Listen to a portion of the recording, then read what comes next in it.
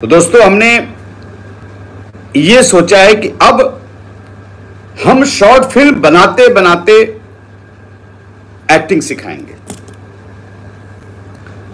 मेरे दिमाग में आया, क्यों ना मैं जैसे थिएटर, मैं बार बार बोलता हूँ थिएटर जननी है, माँ है।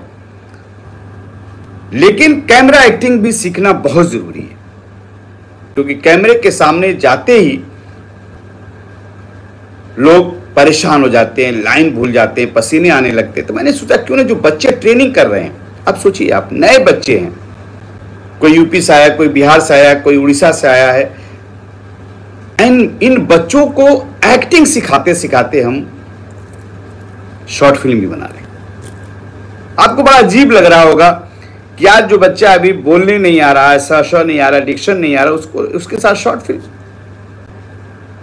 लेकिन दोस्तों क्योंकि मुंबई में जो आता है, वो कैमरे के सामने एक्टिंग करने आता है। हम थिएटर सिखा रहे हैं। ऐसा नहीं कि थिएटर नहीं थिएटर सिखा रहे हैं। लेकिन जब मेरा क्लास होता है कैमरा एक्टिंग का तो मैं स्पेशली क्लास लेता हूँ। और बच्चों को उसी हिसाब से सीन डिज़ाइन करता हूँ कि कहाँ से आना है, कैसे क्या करना है। ये मास्टर शॉट है, ये वर्ड शॉट है, ये टू शॉट है। और प्रॉपर तरीके से ताकि बच्चा जब कल को यहाँ से पास आउट हो, और जब सीरियल फ़िल्मों, वेब सीरीज़ में काम करने जाए तो उसके कोई प्रॉब्लम ही ना अरे ये ये टू शॉट है। अच्छा ये वॉइस अरे, ये तो सर ने हमको बताया है।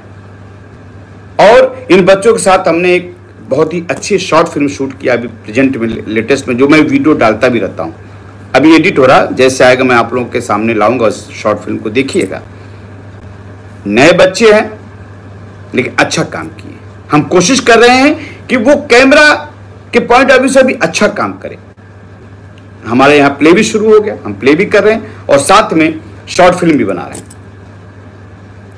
ताकि वो कैमरे के पॉइंट ऑफ़ व्यू और स्ट्रांग बने। आप हमारे वीडियोस देखते रहिए, मैं डालता रहता हूँ। तो मैंने ये प्रण कर लिया है कि अब आपको महीने में दो चार शॉर्ट फ़िल्म देखने को मिलेगा वीकेएस फ़िल्म स्टूडेंट के द्वारा। तो बस यही अपडेट अपडेट था, मैंने कहा आपसे बात कर लूँ। थैंक यू दोस्तों थैंक यू